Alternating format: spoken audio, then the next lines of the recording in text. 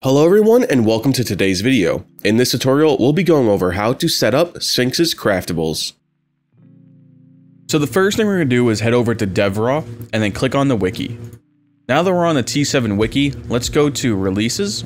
For this tutorial, I'll be setting up the Brazen Bull craftable. However, all of the craftables are set up exactly the same. After downloading our craftable, let's open it up and let's drag in all these folders into our BO3 root. Next, let's open up the instructions text to see what we have to do. So the first thing we have to do is open up our map name GSC and CSC.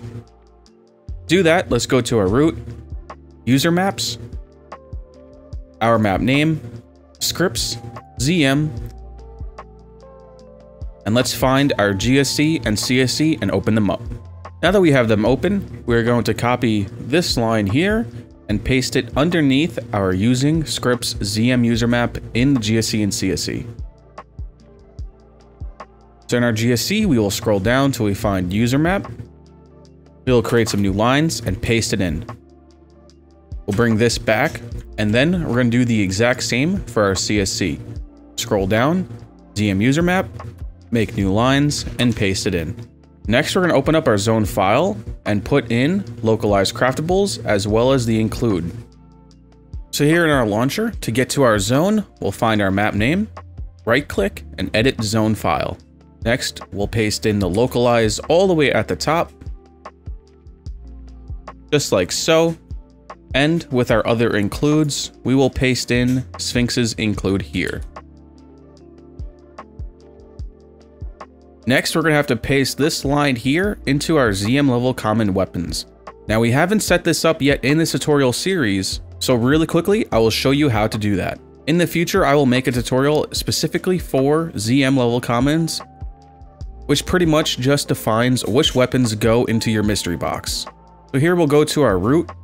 We're going to open up share, raw, game data, weapons, ZM, and ZM level common weapons, we're going to take this file and copy it. Next, let's go back to our root. We're going to open up user maps, your map folder. Then we're going to create a new folder if you don't already have it and put in game data. We'll open this. We'll create a new folder, name it weapons.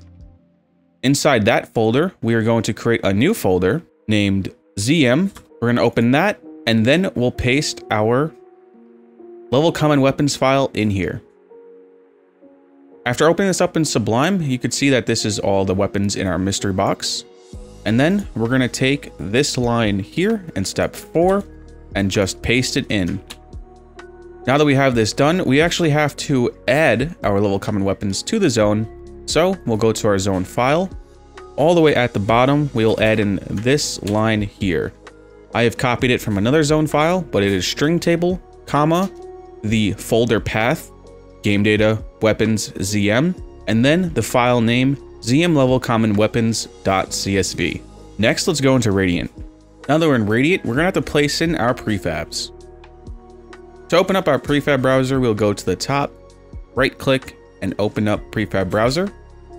Then we will go into Sphynx, Craftables, and here we will have our shield and here we'll have all of our craftables from Sphynx.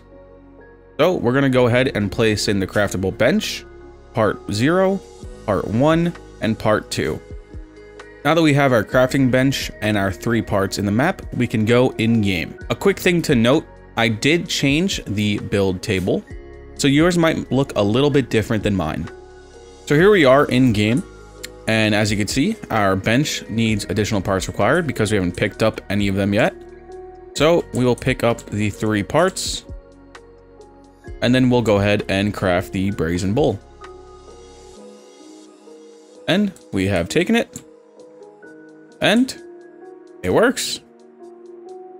That's pretty much how to set up all of Sphynx's craftables. Alright, that's going to be it for this tutorial. If you found anything useful and I was able to help you today, please consider subscribing and hitting that notification bell to be notified of all future videos and live streams. Thanks for watching and have a good one.